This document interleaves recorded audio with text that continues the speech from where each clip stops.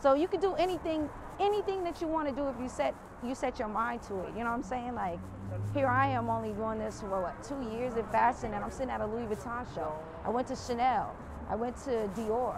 I've been to Balmain. I'm taking pictures with supermodels. You know what I'm saying? Like.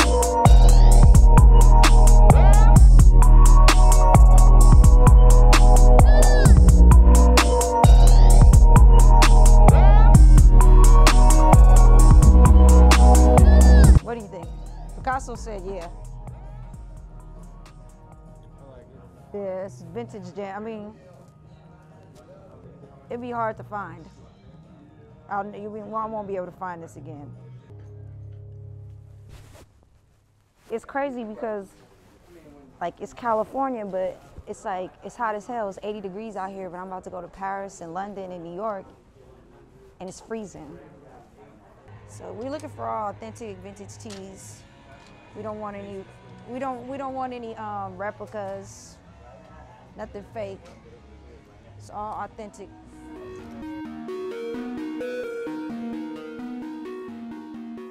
Ooh, so look, I need to put a sticker right there. An out here girl sticker, yeah? Let's get it. Ah, on her nose.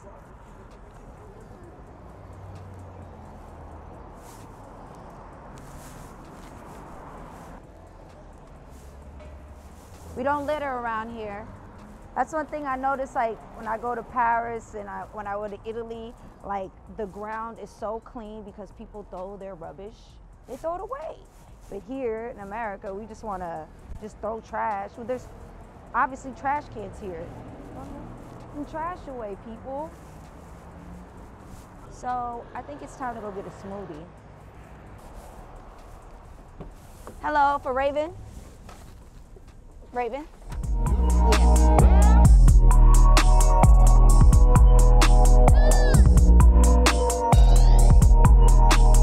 So I started outheregirls.com.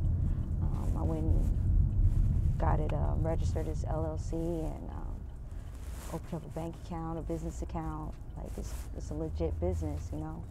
And um, got business cards, you feel me?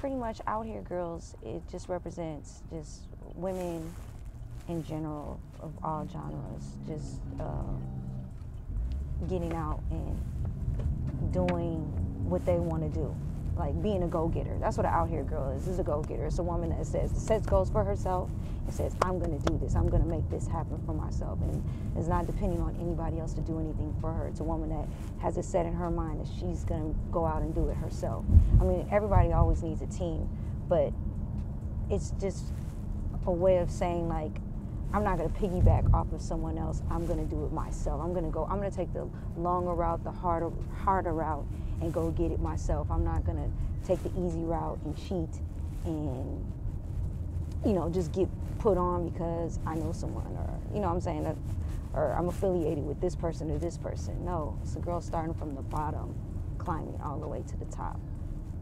That is an out here girl. So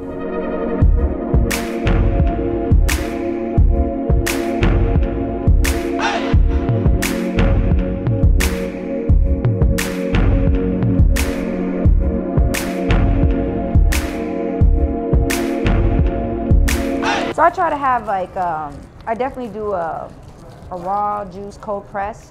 I do those at least four to five times a week. And then, you know, I'll treat myself to a smoothie, um, you know, maybe once a week. I'm very strict on my diet. Um, I'm a what you call a pescatarian. I eat fish. Um, I did the vegan. It wasn't really for me. Like vegan, I just felt fatigued all the time. And plus, uh, I need my eggs. I need my eggs, and I need my lobster and salmon and shrimp.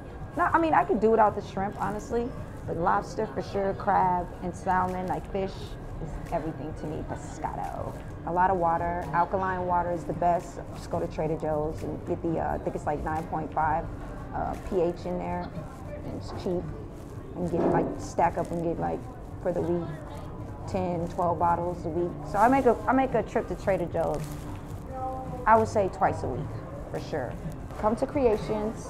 Um, all their smoothies are really good. It's not like one is my favorite. I like them all. So, cheers.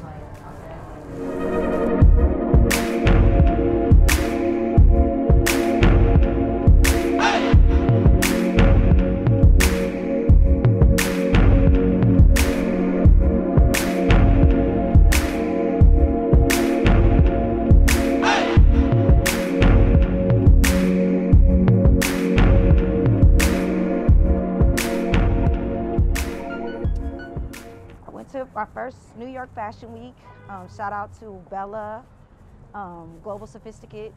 Um, I hired her, and they took care of everything, got me into the shows, and I had a really good time. It was like stress free. It was so cool, and like I got to see all the clothes before it came out, and it was like like a kid going to Disneyland. I'm telling you, like I was just so blown away by the experience that I just completely fell in love with it. So from there, to London. I did that one on my own and I experienced, you know, overseas for the first time. And that was amazing. Shout out to London. I love you. That's that's so, so much love over there. I can't even explain it. And then um, I went to Paris for the first time. And I'm telling you, when I seen the Eiffel Tower, my heart fell out of my chest. It was crazy. Um, so it was my, I went overseas and I'm like, man, as a rapper, I never went overseas. so now I'm in this fashion stuff. Like I'm, I'm like, I'm in Paris. This is crazy. I'm going back to Fashion Week again. I just did Men's Fashion Week. I did Louis Vuitton. I saw uh, Kim Jones's last show. I saw Kate Moss. I saw uh, Naomi Campbell walk on the on the runway. Like, can you imagine? You know what I'm saying? Like I see that with my own eyes. I was there. I was sitting down watching this. It was amazing. Um, so you can do anything, anything that you want to do if you set you set your mind to it. You know what I'm saying? Like here I am only doing this for what two years in fashion, and I'm sitting at a Louis Vuitton show. I went to Chanel. I went to Dior. I've been to Balmain. I'm taking pictures with supermodels. You know what I'm saying? Like these are girls that I've always looked up to and like admired, and now I'm like amongst them. I'm in their presence. So it's just amazing. It's no stress. It's fun. I'm around beautiful people. Everybody's just there to have a good time. The clothes are amazing and beautiful, and we're going on a journey. We're going to continue this journey, and it's going to be a lot more to come. So stay tuned.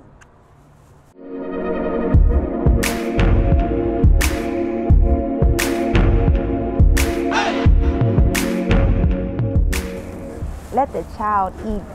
We're going to say the blessing. We're going to bless this here lovely delicatessen over here. Dear Lord, I'd like you to bless this food. Let it be a nursing to my body. In Jesus' name, amen. Blessed.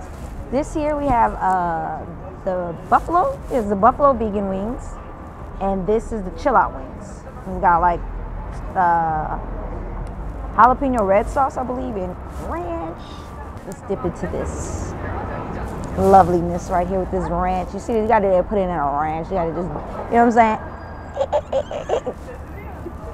I didn't do that.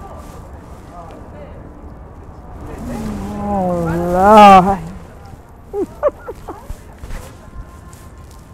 That's just too. Thank you guys. I hope you enjoyed this. First episode this is my first episode. I was a little nervous at first, but I warmed up towards the end. But I want you to see that though. I want to keep this all the way real, all the way 100. There's no script. We're not faking anything. This is real life right here. This is my lifestyle. This is the lifestyle of Raven Sorvino. So you just saw episode one. Thank you, and we're gonna hopefully continue and get this going. We will, not hopefully, we will continue and get this going because I'm an out here girl. Peace.